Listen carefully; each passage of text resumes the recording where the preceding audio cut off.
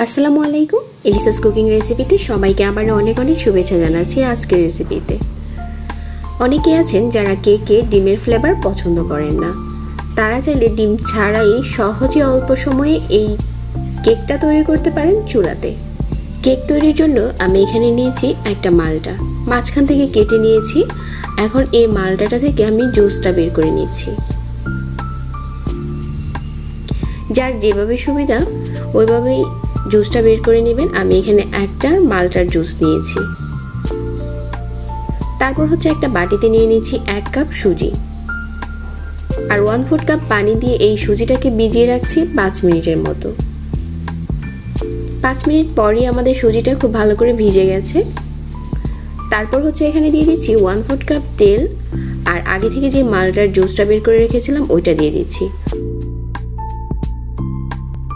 One fourth cup দিয়ে দিচ্ছি চিনি, হাফ চা চামচ দিয়ে দিচ্ছি বেকিং পাউডার।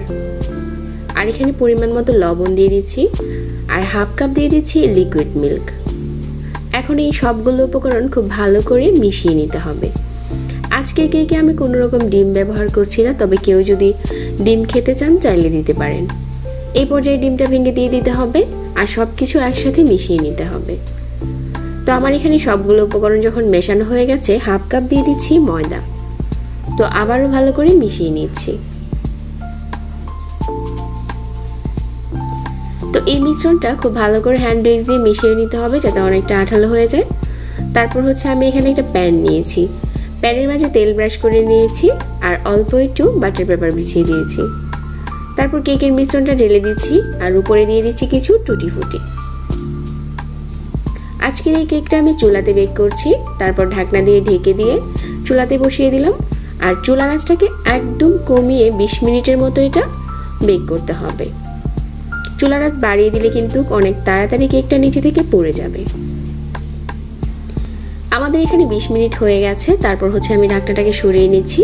আর সাইড থেকে দেখে বোঝা যাবে যে কেকটা বেক হয়ে গেছে। তারপর একটা টুটকিক দিয়ে কেকের মাছ বরাবর চেক করে নিচ্ছি যে ভিতর থেকে খুব সুন্দর করে হয়েছে কিনা। তো আমাদের কেকটা এখন হয়ে গেছে আর ঠান্ডাও হয়ে গেছে।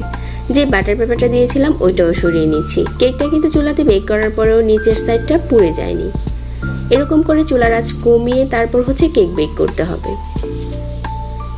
তো কেকটা এখনও গরম আছে, আমি কেটে শেয়ার করছি আপনাদের সাথে। তো আশা করছি আজকের এই ডিম ছাড়ার সুজির কেকের রেসিপি ভালো লেগেছে সবার কাছে।